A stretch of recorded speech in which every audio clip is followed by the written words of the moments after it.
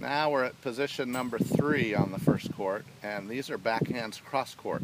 Now, Thomas is going to hit two-handed backhands. He normally hits two-handed backhands, but we encourage you to use one also because there are going to be times when you're too stretched out to just hit a two-handed backhand.